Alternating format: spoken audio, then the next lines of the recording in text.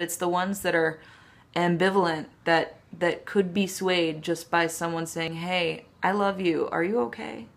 Those are the ones, you know, those are the lives that you can save and there are so many.